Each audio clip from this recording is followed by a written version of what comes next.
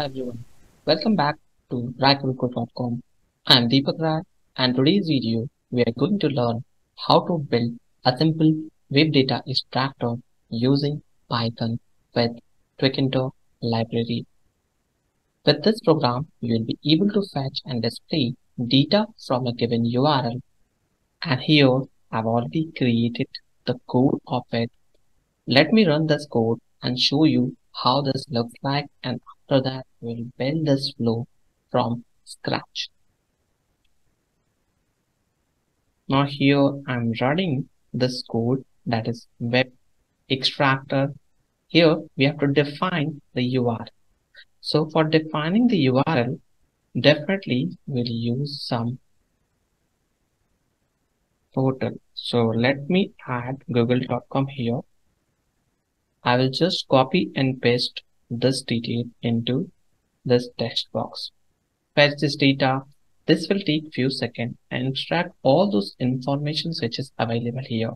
Now you can see the Google search, I'm lucky, maps, YouTube news, all those options available here. So whichever data we want to extract it, we will be able to do it perfectly fine tuning. And this is user based here. We are not just hitting any one URL. You can try with any URL and this will work perfectly fine. So let me build this code in front of you so that you'll be able to understand how we can build it. Now, before starting diving into the coding, let's understand what this project is all about. We are going to create a Python program that extracts and display data from a provided URL or user URL. We'll use the Tkinter library for creating the graphical user interface and the request and Beautiful Soup library to fetch and parse the web content.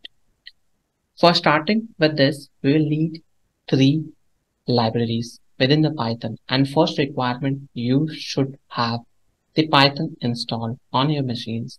You'll also need to install request and Beautiful Soup code library. So these two libraries I've already installed. That's why I'm unable to get any error.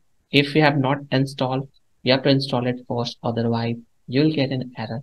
For installation point of view, just write pip install and then the library name.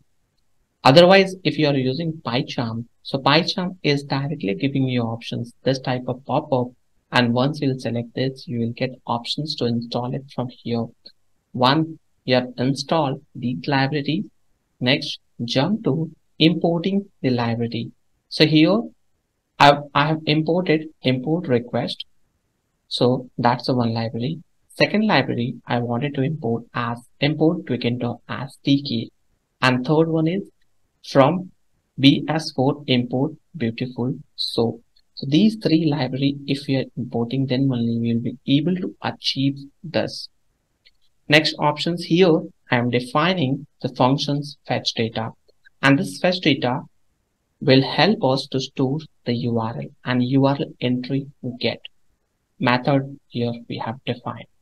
So after that, I'm adding here if conditions where if URL response equal to request not get URL, then the response status code will be added to 100 and within the soup Beautiful Soup response text this will parse html data and add into extracted data.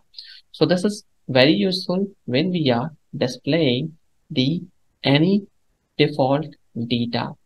And here we have also used extracted data and that should be converted into soup.getText and that will be displayed into or stored into extracted data and this extracted data will showcase on window itself where we can see the uh, fetch data that will be displayed. Now here next actions we wanted to start by displaying data. If there is no data we are adding else conditions unable to fetch data and if our URL is not correct we are using this enter a URL.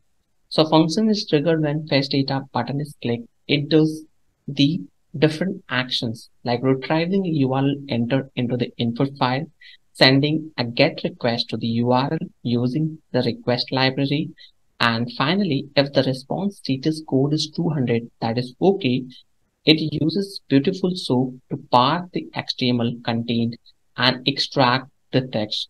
So the purpose of this complete code is for foreseen and finally it calls the display data into result text.delete and this will extract data. We have defined another function that is display data. This function clear the previous content in the result text box and insert the provided data into it. So delete method we are using for clearing the content. And finally, we are creating main Tkinter video, uh, sorry, main Tkinter window. And this window will have label. So for adding title, we are using web data extractor as a title to add the application title. And at the end, we are packing this informations into widgets. So here we are using label and tk.label root text enter URL information is asking to enter the URL. This is the text which is available on screen and we are packing this pad y equal to 5. It means we are providing proper spacing in between text and text box. URL entry is taking care of tk.entry and root width equal to 50. So maximum bit we are providing here as a 50. And after that URL entry pack is again defined with pad y which contains the value as 5. Now really fetch button. So this button is giving the context to trigger the event. So whenever any user will click on this button, the root options will get fetch data and command fetch data will be triggered. Fetch data button pack is again added padding or spacing which contains 10 value. And finally, this text result will be converted into wrap.tk what height and width we have specified at 15 and 60.